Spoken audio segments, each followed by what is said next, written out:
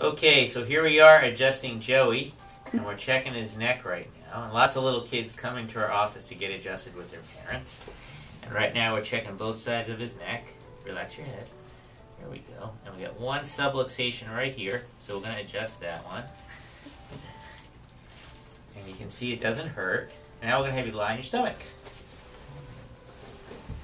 Now we're going to check his upper back and low back. First, we're going to go down to his legs. I'm going to check his leg length and see how it looks. Could put your head right in the center. There you go. And his right leg's a little shorter than his left. So we're going to check his low back down here. Lift your right leg as high as you can. Keep your head in the middle. Keep your head in the middle. There you go. Now straighten your leg out. Lift your whole leg up, nice and straight. There you go. And down. And the left one. Good. And that's checking his low back and his pelvis. And he's a little off on the right here, so we're going to adjust him right there. So let's have you lie on your side facing away from me. That's it. All the way around. There you go. Perfect. Stay right there. And put that hand right here.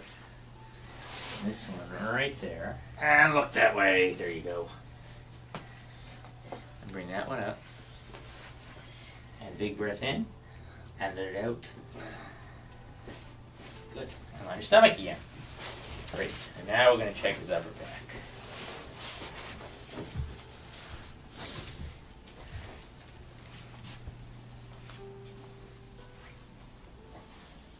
Okay, it's a little tight right there on the right.